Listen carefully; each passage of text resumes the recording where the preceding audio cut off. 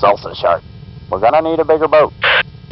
Throughout the Death Star, they have been a part of our Imperial life. Stormtroopers who have made it their mission to serve their fellow beings. They've worked hard enough. Isn't it time they had their own movie? Trooper Clerks. This job would be great if it wasn't for the customers. But I don't bother them, and they don't bother me. I could do without the people in the video store.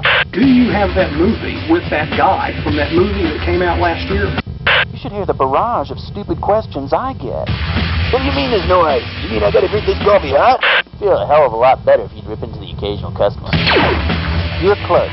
You can't just do anything you want while you're working. Hey, you guys open?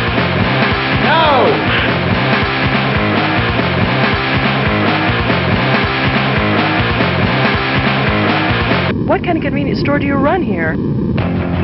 Maximia Films presents You think anyone can see us down here? Hi, do you want to have sex or something? Can we? Trooper Clerks. Just because they serve you doesn't mean they like you. You hate people. They love gathering. Isn't it ironic?